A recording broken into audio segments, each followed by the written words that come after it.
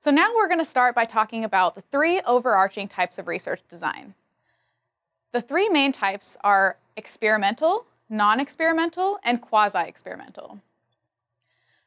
Experimental studies have a manipulated independent variable and random assignment, which is a type of control. Now we're going to go over what manipulation and random assignment are in just a second. But these are really the distinguishing features between these three different types of design. So it's good to kind of have an overview as we start. Uh, the second type of design is called a quasi-experimental design. So it still has a manipulated independent variable, but we don't have the random assignment, that kind of level of control that we have with our experimental designs.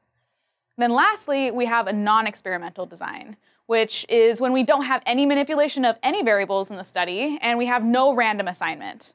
Uh, so like less control and more just kind of exploratory.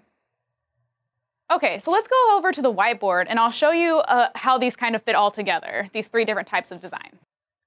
So we have three different types of design here, our experimental, quasi-experimental, and non-experimental.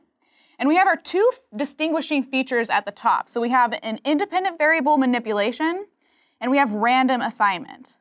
And so we're just going to make a quick graph to try to help you kind of visualize, again, how these three designs are related to each other. So in an experimental design, we have an independent variable manipulation, and we have random assignment. And so both of those boxes are checked. In a quasi-experiment, we have an independent variable manipulation, but we have no random assignment.